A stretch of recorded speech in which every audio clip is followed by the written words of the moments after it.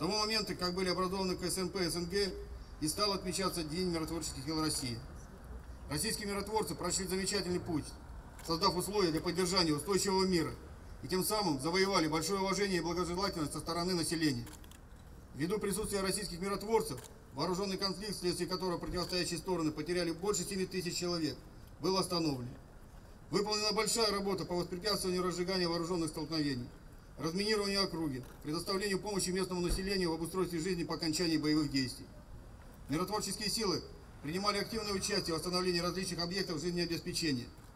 Вне зоны внимания миротворцев не осталась ни одна просьба о помощи со стороны различных организаций и учреждений, действующих в зоне конфликта, а также жителей населенных пунктов, оказавшихся в трудной ситуации.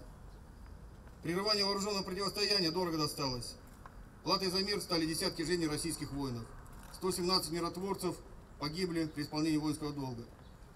Поэтому памятный день миротворческих сил России заслужил право на существование.